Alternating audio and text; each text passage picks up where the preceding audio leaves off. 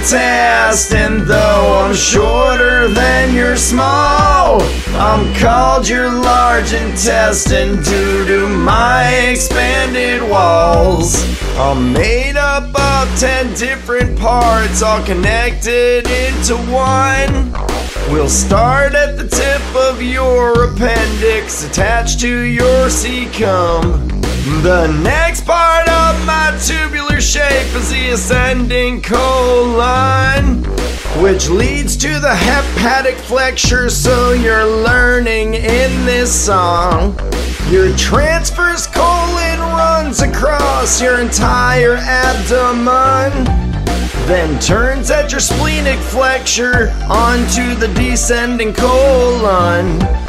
Your curved S-shaped sigmoid colon leads to your rectum, which is where your fecal matter meets your anus in your bum. I am your large intestine, though I'm shorter than your small.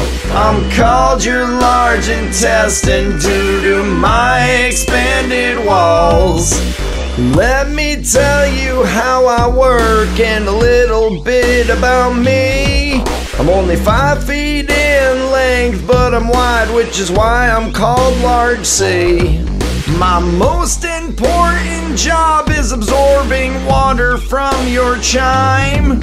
If I didn't perform this function, you'd have loose stools all the time. Millions of bacteria do live inside of me. An important is E. coli, its job is very key.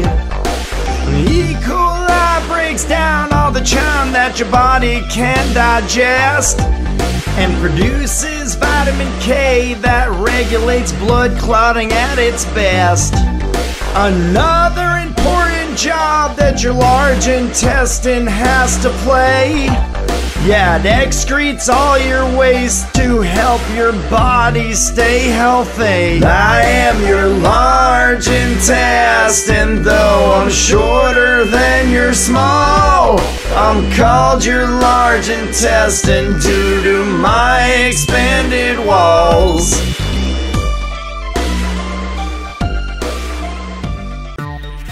Shop our new store merch and get custom birthday videos with your favorite characters.